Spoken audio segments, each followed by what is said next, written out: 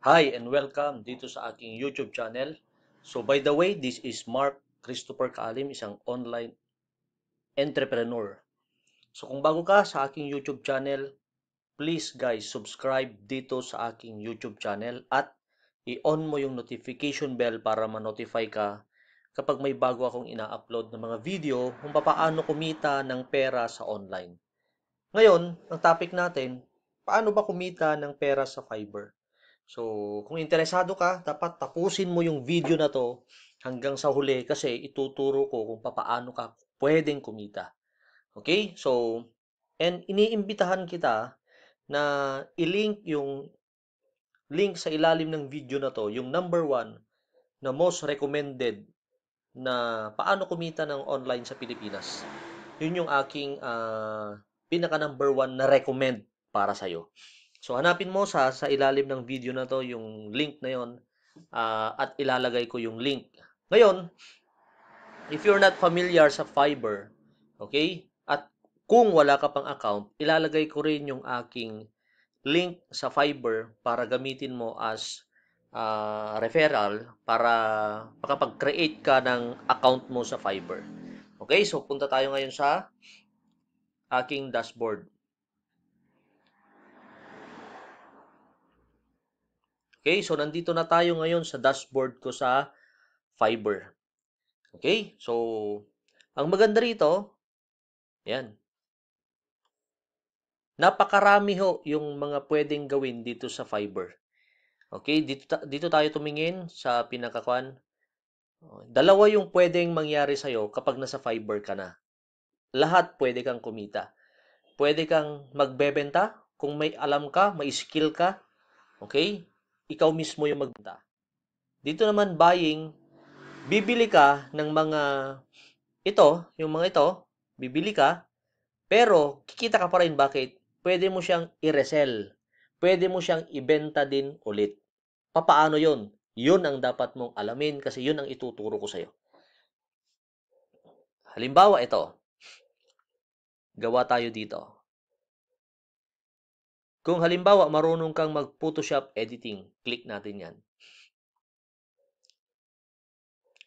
Ito mismo ay kung ikaw mismo yung marunong. Halimbawa, may skill ka talaga na kaya mong gumawa or mag-edit gamit ang editing sa sa picture, okay? Nag-i-start yan sa tingnan mo. Nag-i-start yan sa $5. Okay, tingnan mo ito. 5 ang kwan niya, 511 yung orders niya. Ang gagawin niya lang, gawin niya lang yung parang ano ba to? Ayan o, oh, parang rock yung picture mo. Yun ang gagawin niya. Kung ikaw may skill pagdating dito, pwede mong gawin yan. Okay, gagawa ka lang ng yung gig. Click mo lang yan, create ka lang ng gig.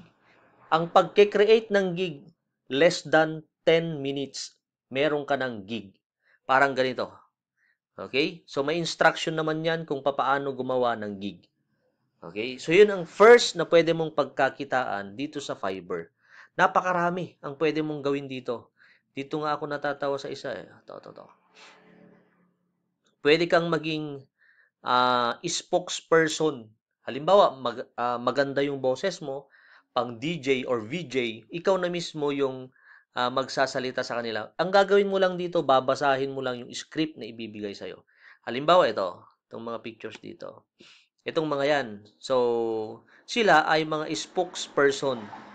Pero tingnan mo yung charge nila. Merong nagcha-charge ng $5, pero minimal lang yung kwan nito, yung words na isasabihin niya. May minsan $15. So, pwede ka nang pagkakitaan, di ba? Yan.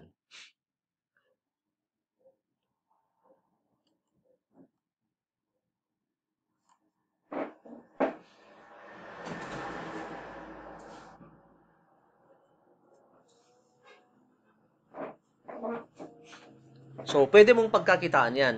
Ngayon, baka tanungin mo sa akin, eh paano naman pag di ako marunong yan? Eh di wala na akong uh, pagkakakitaan sa fiber. Meron pa rin. Ito yung tinatawag kong uh, arbitrage.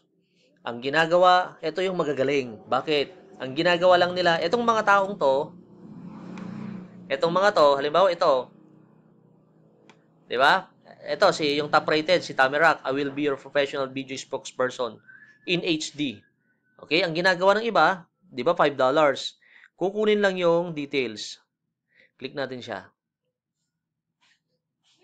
Yan. So, kung ano yung details dito, yan o. So, meron siyang 25 words na sasabihin, meron siyang logo, full HD, at custom outfit. Siya yung magsasalita. Ang gagawin mo naman, ipro-promote mo ito. Halimbawa, itong 5, uh, saan ba yun? Ito, yung basic niya. Kung gusto mo i-promote yung basic niya, kunin mo yung details niyan. Okay? So, wag mong ilalagay na yung picture ni Tame, ano? Pangalan ito? Itong babaeng to, wag mo nang ilagay. Ikaw na mismo. Ikaw, ikaw yung makikipag-deal. So, kung halimbawa, inilagay niya dito $5, ikaw, pwede kang mag-charge ng $15. Okay? So, pwede kang mag-charge ng $15. Siya yung mag-promote. Halimbawa, i-deliver niya ito ng 2 days, may delivery yan. In 7 days yung delivery time niya. Ang gawin mo naman, eh, ilagay mo 10 days para may chance ka na baguhin. Or, tapos halimbawa, response time niya 5 hours, ganun din. Ngayon, anong gagawin mo? So, halimbawa, ito. Uh, ang gusto mong i-promote is pwedeng uh, spokesperson. Ilagay mo ito sa Facebook. Okay? Halimbawa, gawa ka ng sa group or gawa ka sa gawa ka ng page. Create ka ng page. Ayan.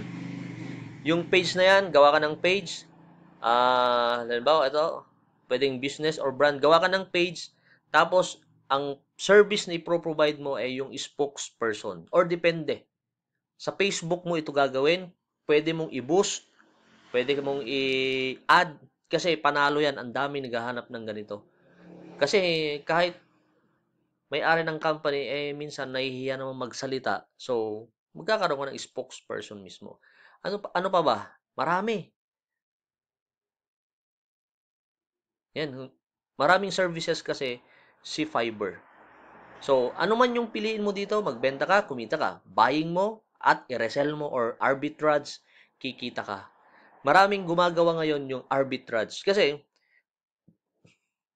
halimbawa ito, mga to, napakarami yung demand ng mga ito.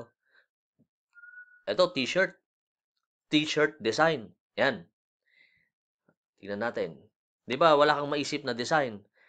Meron na siyang gagawa. Halimbawa ito, 360 per order. Ito naman ay magandang maganda na.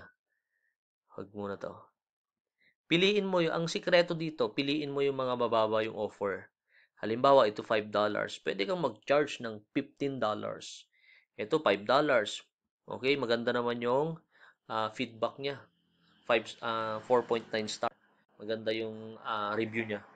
Hanapin mo yung magaganda yung review at yung gagawin mong i-arbitrage or i-re-resell mo. Ganun lang guys. Okay, so halimbawa ito selling naman, marami. Ano ba yung skill mo? Marunong ka, ito, isa-isayin natin. Marunong ka bang gumawa ng social media design?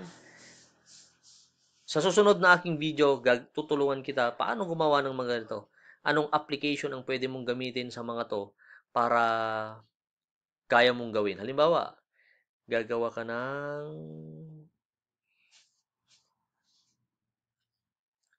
yung mga, ito influencer, yung gagawa ka ng mga pictures. Saan ba yun? Yan, gagawa ka ng banner ads. Yan, meron tayong application dyan na pwede mong gawin. Pwede kang gumawa ng business card. Ikaw na mismo yung magbebenta, gagawa ka lang ng gig. I-message ka nila. Nasubukan ko na, nag-message sila dyan uh, talagang kinokontak ka nila tapos uh, mabilis yung response ng mga to. Kasi ang napakaraming mga nangangailangan nito ngayon sa online. Okay, hindi ma hindi kayang uh, tapusin uh, ng iisang tao lang. Halimbawa, gagawa ng flyers at saka brochures. Gusto nila ka kaagad kasi instant na. Yan. So ngayon guys, ito lang yung aking may share ngayon. Pwede kang kumita ng around sabi ko nga, kung mag- marami kang gig, halimbawa ito, tignan mo ha, meron siyang 1,000 orders na $5. So, grabe yung kwan nito, potential nito. malaki yung potential nito. Ngayon, kung wala ka pang Fiverr account, please guys, ilalagay ko yung aking link sa ilalim ng description na to at mag-create ka na. This is 100% free, wala kang babayaran sa pagki-create mo ng account. So, yun lang guys. Sana may natutunan kayo sa video na to. Uh, uh, thumbs up lang, comment sa ilalim ng video na to at subscribe sa aking channel. Yun lang and God bless.